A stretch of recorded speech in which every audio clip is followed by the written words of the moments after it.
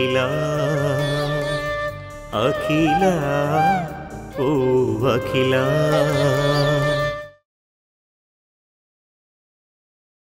బాబు సేటు గారి భార్య నిన్ను పిలుస్తున్నారు? నన్ను పిలుస్తున్నారా? ఎక్కడున్నారు? అదిగో అక్కడున్నారు. భయపడకుండా రా బాబు. రా అంతా నీ మంచి కోసమే. రా.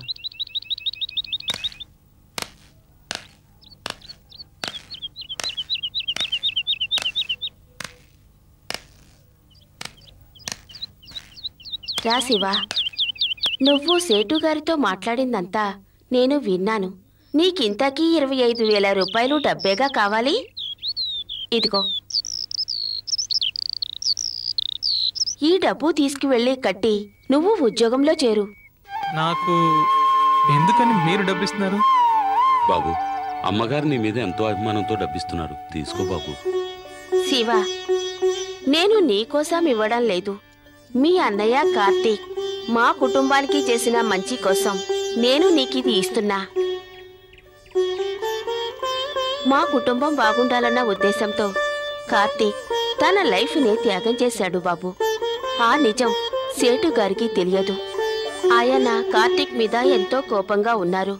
ఈ రోజు వరకు కార్తీక్ మీదున్న కోపం తగ్గానే లేదు. అందుచేతనే ఆయనతో అసలు నిజం నేను చెప్పలేకపోయాను బాబు. నీకు ఈ వయసులోనే మంచి ఉద్యోగానికి వెళ్ళి పైకి రావాలని ఉంది. కార్తీక్ కుటుంబం కష్టపడకూడదు బాబు. మీ అమ్మే ఇస్తుందనుకుని కాదనకుండా తీసుకో బాబు. తీసుకో బాబు. అమ్మగారు అంతగా చెప్తుంటే ఆలోచిస్తామే తీసుకో. అమ్మా చాలా థ్యాంక్స్ అమ్మా. నువ్వు ఉద్యోగానికి వెళ్ళి మంచి పేరు తెచ్చుకోవాలి. మీ అమ్మా నాన్నల్ని బాగా చూసుకోవాలి. డబ్బు జాగ్రత్తగా తీసుకెళ్ళు. వస్తాం బాబు.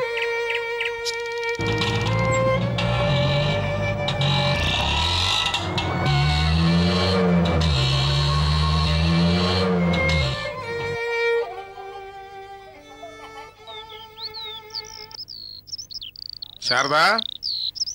శారదా? ఆ. ఓ గ్లాస్ నీళ్ళు తీసుకురా. ఇదిగో తీసుకొస్తున్నానండి.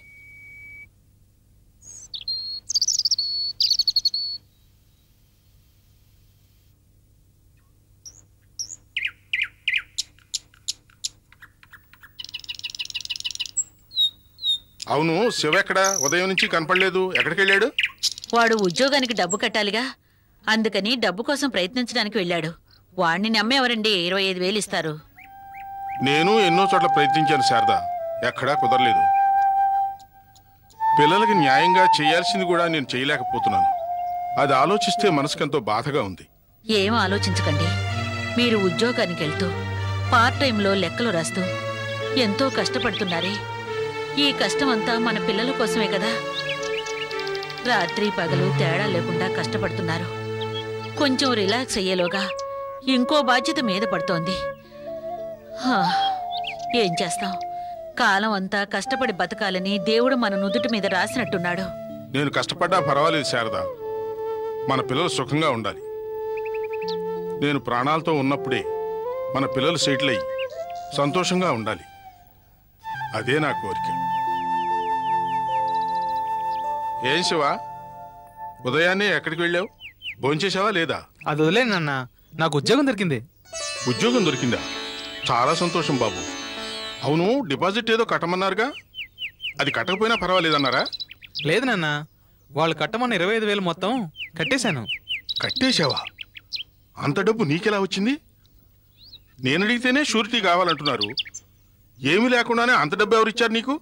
సేటు గారి భార్య ఇచ్చింది నాన్న. సేట్ భార్య? సేట్ వడ్డీకి డబ్బిస్తాడు. అతని భార్య ఎందుకు ఇచ్చినట్టు? మన కార్తీక్ అనే ఓ సేటు దగ్గర ఉద్యోగం చేసేవాడు కదా ఆ సేటు గారి భార్య నాకు డబ్బు ఇచ్చింది కార్తీక ద్వారా వచ్చే పూచిక పుల్లైనా మనకు అవసరం లేదు. నీకు ఉద్యోగం లేకపోయినా పర్వాలేదు. ముందు ఆ డబ్బు తీసుకెళ్ళి ఆవిడకి ఇచ్చేసిరా. ఇప్పుడే ఆ డబ్బు నేను ఆఫీసులో కట్టొస్తున్నాను. అయినా పర్వాలేదు. ఎలాగైనా వాళ్ళని రిక్వెస్ట్ చేసి ఆ డబ్బు తీసుకుని సేటు భార్యకి ఇచ్చేసిరా ముందు. ఏమిటండి ఇది? వాడు ఉద్యోగం కోసం ఎంతో కష్టపడ్డాడు. అలాంటప్పుడు అయితే మీ ఇష్ట ప్రకారమే అన్నీ కానివ్వండి. నా మీద ఎవరికి నమ్మకం లేకుండా పోయిందిగా? వీడిని నమ్ముకుంటే మనల్ని నట్టేట్లో ముంచేస్తాడని నిర్ణయించుకున్నట్టున్నారు. కానివ్వండి అన్నీ మీ ఇష్ట ప్రకారమే కానివ్వండి. నా మాటకు విలువ లేని ఈ ఇంట్లో నేనుండి ఏం ఉద్ధరించాలి ఏమిటండి మీరు? ఇప్పుడు ఏమైందని ఇలా మాట్లాడుతున్నారు? మీరేమంటారు? ఆ డబ్బు తీసుకెళ్ళి ఆవిడకి ఇచ్చేయాలి. అంతే కదా? శివ నువ్వు ఈ డబ్బు తీసుకెళ్ళి సేటు భార్యకి ఇచ్చేసిరా. ఇక మీ నానిష్ట ప్రకారమే అంతా జరగని. కార్తీక్ చెడ్డవాడన్న అభిప్రాయం మీకుంది. అది మార్చడం ఎవరి వల్ల సాధ్యమవుతుంది?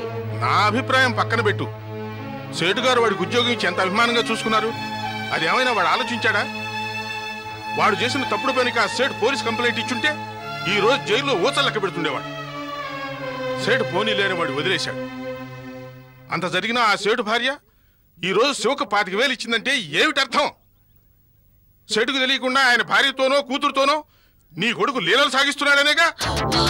లేకపోతే ఇలా ఇరవై ఐదు వేలు ఇవ్వడం మాట్లా? మాట్లాడింది చాలే సుందరమూర్తి. నేను వచ్చిన దగ్గర నుంచి చూస్తూనే ఉన్నాను. నీ ఇష్టం వచ్చినట్టు మాట్లాడుతున్నావు. ఇలా చూడు. కార్తీక్ నీ కన్న బిడ్డ. అది మర్చిపోవద్దు. నువ్వు మంచివాడివే. అందులో ఎలాంటి సందేహం లేదు. కానీ లోకంలో నువ్వొక్కడవే నీతి గలవాడివి నిజాయితీ గలవాడివి అనుకుంటున్నావు చూడు. అదే తప్పు. కార్తీక్ మీద ఇంత పెద్ద నింద వేస్తున్నావే? ఆ రోజు అక్కడ ఏం జరిగిందన్నది నీకు తెలుసా? పిన్ని నోరు మూసుకొనుండు నువ్వు కార్తీక ప్రమాణం చేశావని నేను మౌనంగా ఉండక్కర్లేదు. ఒక అమ్మాయి జీవితం నాశనం కాకూడదని నింద తన మీద వేసుకున్నాడే. వాడికన్న తండ్రిగానా మీ ఆయన మాట్లాడుతున్నాడు?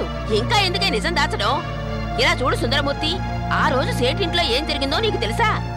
నేను చెప్తాను. హ్మ్. ఊరు నుంచి సేటు కూతురొచ్చింది.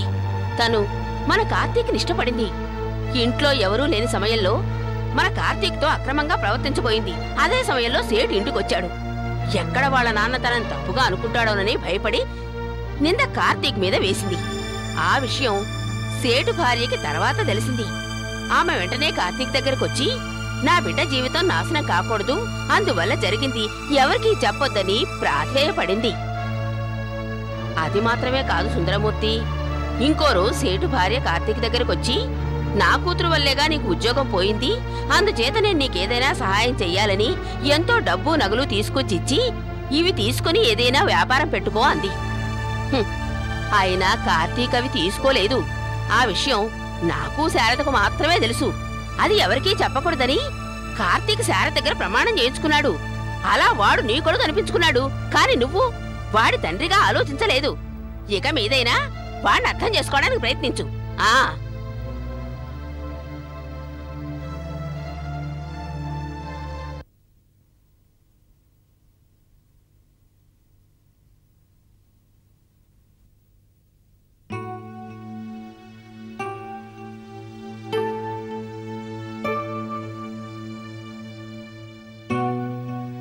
అఖిల ఏమిటదంతా? పొద్దు ప్లీజ్. వద్దంటే ఎలాగండి? డాక్టర్ చెప్పారు కదా. భూషణం వేడి సరిగ్గా ఉందా? ఉందమ్మా. మీరు ఒకసారి చూడండి. ఏమ్మా వేడి ఎక్కువగా ఉందా? లేదు కరెక్ట్ గానే ఉంది. అఖిల నేను చిన్నప్పుడు చందమామ కథలు చదివాను. యమలోకానికి వెళితే వేడి నీళ్ళలో తోసి టార్చర్ పెడతారట. ఇప్పుడు మీరిద్దరూ యమపట్లు చేసే పని చేస్తున్నారు. ఎందుకు ఇలా భయపడుతున్నారు? మీరు వేడి నీళ్ళతో స్నానం చేయడం లేదా? ఇది అంతే. ఆ, మీరిద్దరూ ఒకసారి కాళ్ళు పెట్టి చూడండి తెలుస్తుంది. మీకు నయం కానివ్వండి నేను నిప్పుల్లో నడుస్తాను.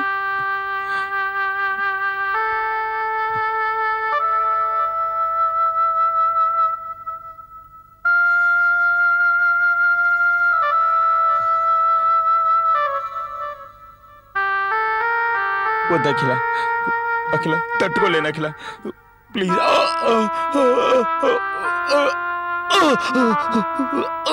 వద్దు అఖిల ప్లీజ్. ప్లీజ్ ఏమండి కాసేపు ఓర్చుకోండి నా మాట. ప్లీజ్. వేడిగా ఉంది. ప్లీజ్. Oh please. అఖిల వద్దు.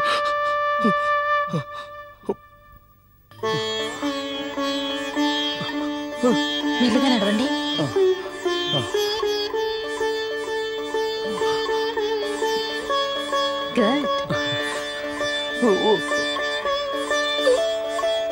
నిదానంగా.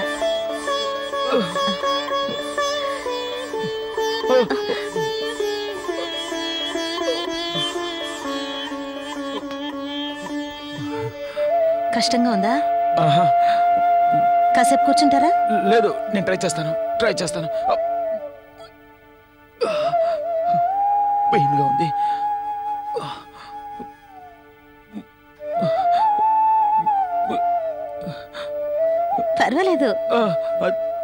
చాలా దూరం నడిచారు. ఇంకాస్త నడవండి. ప్లీజ్. మెల్లిగా. కాస్త బలంగా వేయండి. జాగ్రత్త.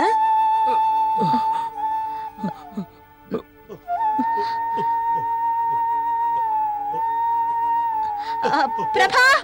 ప్రభా! అయ్యో జాగ్రత్త. జాగ్రత్త. నమ్మి చేసుకో ఏమిటి నా ముందే పిలవచ్చు కదా? అలాగే ఉంచురా. చెయ్యి అలాగే ఉంచు. జాగ్రత్త. జాగ్రత్తగా అడుగు. జాగ్రత్తగా వేయరా. వెయ్యి వెయ్యి పర్వాలేదురా. జాగ్రత్త. మెల్లగా. మెల్లగా. అలాగే. మెల్లగా. ఏం కాదురా. ఏం కాదు. అలాగే. జాగ్రత్త. జాగ్రత్త. మెల్లగా. మెల్లగా. Very good. జాగ్రత్త జాగ్రత్త మెట్టు దిగు. ఆ, నెమ్మదిగా నెమ్మదిగా. ఆ,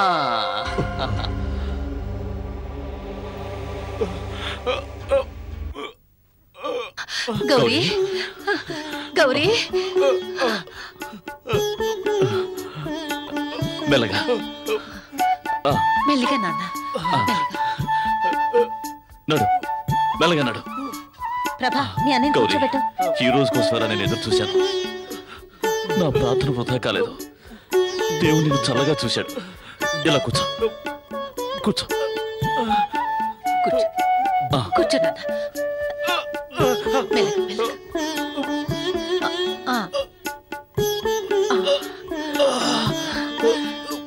నువ్వు నడవడం చూస్తుంటే నాకెంత సంతోషంగా ఉందో తెలుసా? మెల్లగా మెల్లగా. అగిల నీ మంచి మనసుకి అంతా మంచే జరుగుతుంది. నీ భర్తకి నయమైన తర్వాత నువ్వోసారి ఆంజనేయ స్వామి గుడికి వెళ్ళిరా. ఆంజనేయ స్వామిని మనసులో ధ్యానిస్తూ నీ భర్తకు నువ్వు సేవ చెయ్యి. ఆయన తప్పక నిన్ను అనుగ్రహిస్తాడు.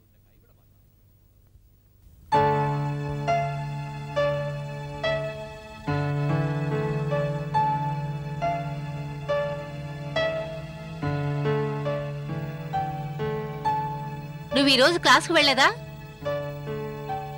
ఈ రోజు మా ఇన్స్ట్రక్టర్కి వేరే ఏదో ప్రోగ్రామ్ ఉందట. అందుకని క్లాసుకు రావద్దన్నారంటీ. సరే రెస్ట్ తీసుకో. ఆంటీ ఈవేళ ఎటూ క్లాస్ లేదు గనక. నేను ఆంజనేయ స్వామి గుడికి వెళ్ళనా? ఆంజనేయ స్వామి గుడికా? ఏంటి? సడన్గా ఆంజనేయ స్వామి గుడికి వెళ్ళాలంటున్నావు? ఎందుకో? వెళ్ళాలనిపించింది. అందుకే అడిగాను. ఆంజనేయ స్వామి గుడికి వెళ్ళడం మంచిదే. ఆంజనేయ స్వామి గుడికి వెళ్ళాలంటే మనసు ఎంతో పవిత్రంగా ఉండాలంటారు. ఎందుకంటే ఆయన బ్రహ్మచారి. సాధారణంగా ఆంజనేయ స్వామి గుడికి మగవాళ్ళు వెళ్తారు. ఆడవాళ్ళు వెళ్ళాలంటే కుటుంబంతో కలిసి వెళ్తారు. నేను ఈ రోజు నుంచి ఆంజనేయ దీక్ష తీసుకుంటున్నానంటీ. ధన్వంతరి అఖిలతో చెప్పినట్టు నేను అనుకున్నది జరిగేలా చూస్తాడా ఆంజనేయ స్వామి? అందుకే నేను అనుకున్నదంతా తప్పకుండా జరగాలని ఆ ఆంజనేయ స్వామిని వేడుకుంటున్నాను. నువ్వేమని వేడుకుంటావు? బాగా చదువుకొని మంచి ఉద్యోగం చేయాలని వేడుకుంటావు. నువ్వేమనుకున్నా అది తప్పకుండా జరుగుతుంది. వెళ్ళిరా. చాలా థ్యాంక్స్ ఆంటీ. ఆ మోనికా నువ్వు గుడికి వెళ్ళేప్పుడు తులసి మాల తీసుకువెళ్ళు. ఎందుకంటే ఆంజనేయ స్వామికి తులసి అంటే ఇష్టం. Okay aunty. ఓ తులసిమాల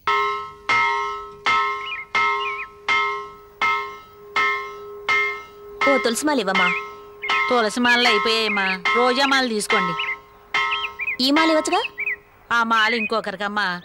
ఆయన రోజు వస్తారు. తులసి మాల ఇగిపోతే కోపం చేసుకుంటారు. ఏంటమ్మా ఇది? మొక్కు తీర్చుకోవడానికి మొట్టమొదటిసారిగా ఆంజనేయ స్వామి గుడికి వచ్చాను. అపశకునంగా మాలేవనంటున్నావేంటి? తీసుకోండి. పది రూపాయలు ఇండి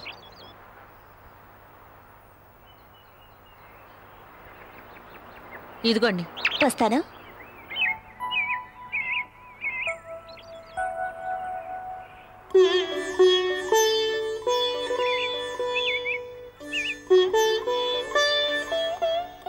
ఏ మంగమ్మ కదా? ఏటి బాబు ఇంత లేటుగా వచ్చారు. మీరు ఇక్కడ రారేమో అనుకుని ఒక అమ్మాయి అడిగితే ఇచ్చేశాను. ఏంటమ్మా ఇది? నలభై రోజులు తులసిమాల వేస్తానని స్వామికి మొక్కుకున్నాను. ఈ రోజు నువ్వు ఇలా చేశావు. క్షమించండి బాబు ఇప్పుడే ఇచ్చేశాను. ఎవరో కొత్తగా ఎర్రచీర కట్టుకుని ఒక అమ్మాయి వచ్చింది. ఆ అమ్మాయికి ఇచ్చేశాను.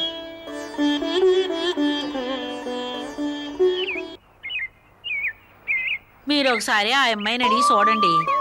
ఇస్తే తీసుకోండి. లేకపోతే ఈ మాలేయండి రేపు రెండు తులసి మాలలు స్వామికి వేయచ్చు. సరే అమ్మా ఇదిగో.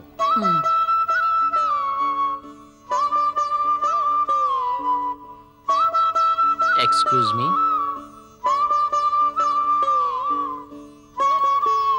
ఏంటి? ఏమీ లేదు మేడం. మీతో ఓ విషయం. మాట్లాడాలా? అవును. ఆహా లేదు. ఏంటి విషయం? ఏం లేదు. తప్పుగా అనుకోకండి. విషయం చెప్పండి. తప్పా కాదా అన్నది నేను తెలుస్తాను. ఇంకోలా అనుకోకండి. మనిద్దరం మాల్లో మార్చుకుందామా?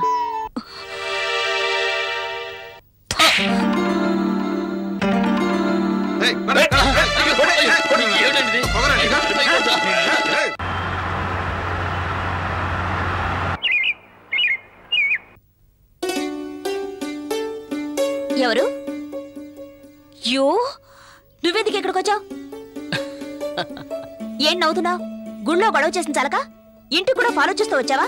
లే ముందులే చూడండి మీరు అరవకండి. ఆ ఇది మా ఇల్లు. అరుస్తాను గిరుస్తాను. నీకెందుకు? నిజం తెలుసుకుని మాట్లాడండి. ఏమిటయ్యా నిజం తెలుసుకునేది? నువ్వేమైనా పెద్ద రౌడీవా? నీకెంత ధైర్యం ఉంటే ఇలా ఇంటికి వచ్చి కూర్చుంటావు. నేనెవరో తెలియకుండా మీ పాటికి మాట్లాడుతున్నారు? నువ్వెవరైతే నాకేమిటి? యూటీసింగ్ కేసులో లోపల తోయిస్తాను పోలీసులు అడుగుతారుగా? అప్పుడు చెప్పుకో. నువ్వు ఎవరు ఏమిటన్న వివరాలు.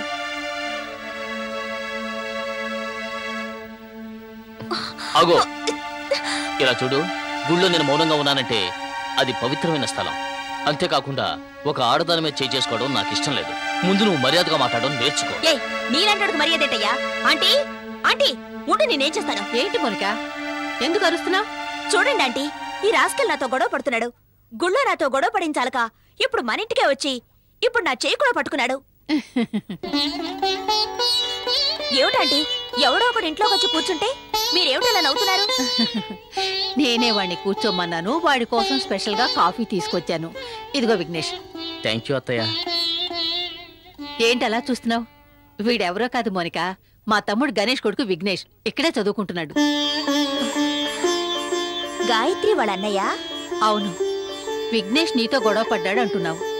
ఆ మాట నేనే కాదు ఎవ్వరూ నమ్మరు మోనిక. వాడెంతో మంచివాడు. నేనేమన్నది అత్తయ్య తన ఇష్టం వచ్చినట్టు మాట్లాడుతోంది. ఆంజనేయ స్వామి గుళ్ళో నా కోసం ఉంచిన తులసిమాలను తను తీసుకుని నేను అడిగినందుకు లేనిపోని గొడవ చేసింది. వదిలే విఘ్నేష్. మోనిక కొంచెం స్పీడ్. ఇప్పుడిద్దరు ఫ్రెండ్స్ అయిపోండి. సారీ విఘ్నేష్. Okay okay. ఏదో అత్తయ్య చెప్పింది కదా అని నిన్ను వదిలిపెడుతున్నాను. అవును. మౌనిక ఎవరు అత్తయ్య? మన విద్యకి ఫ్రెండ్ ఇక్కడే ఉండి కంప్యూటర్ చదువుకుంటుంది. వీళ్ళ అమ్మా నాన్న నెల్లూరులో ఉంటున్నారు. వచ్చిన కొద్ది రోజుల్లోనే మా అందరితో బాగా కలిసిపోయింది. మౌనిక నువ్వు నాతో ఇక గొడవ పడవనుకుంటాను?